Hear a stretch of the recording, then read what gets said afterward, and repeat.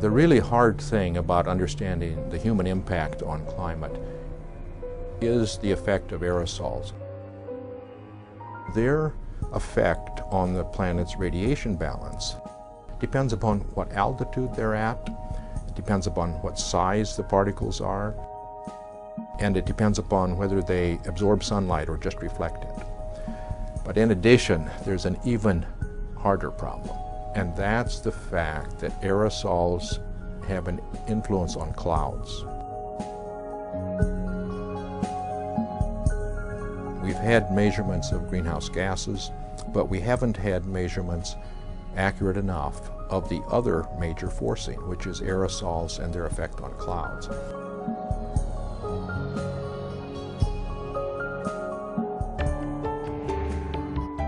What GLORY does is fill in that missing data. The big thing about GLORY is it will finally make aerosol measurements with an accuracy that allows you to determine their role in climate change. GLORY is going to fly two instruments for us. The first one is called uh, the Aerosol Polarimetry Sensor, or APS. It will be the most advanced sensor of its kind when we fly it. And the, the mission of the APS sensor is to help us characterize the particles that are in the atmosphere, both man-made particles from pollution and also naturally occurring particles from things like forest fires and volcanoes and those types of things. This is a very complex instrument, one of a kind. It's the first instrument that will study aerosols, that was specifically designed to study the least understood um, cause of climate change, represented by aerosols. We call it a polarimeter because it measures the polarization of light.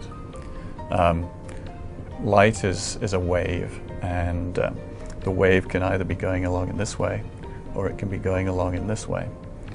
And which way it prefers to go is its polarization state.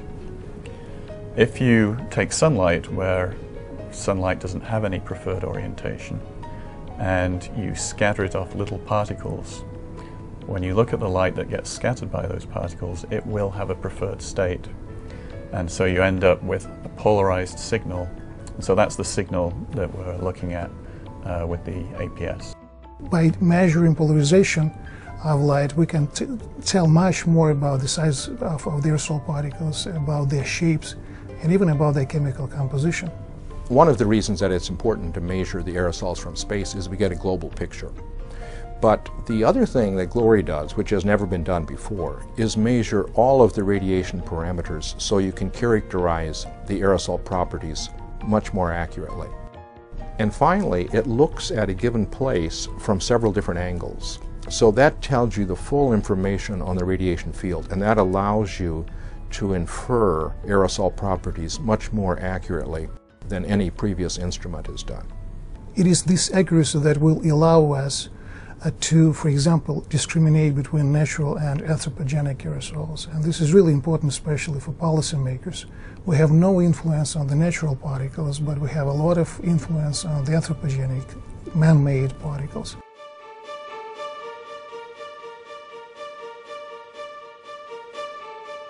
The data from GLORY is primarily for the purpose of telling us what the mechanisms are that force the climate models um, how aerosols are changing and how clouds are changing because of aerosols. But also, the detailed information on the clouds is useful in itself for helping us improve our cloud models. And clouds are an important part of the climate system.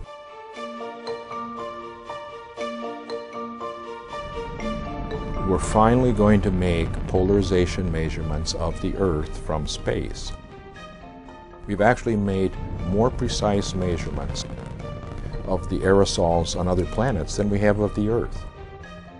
Given the fact that aerosols have a comparable importance to that of greenhouse gases, it's about time that we're finally doing it.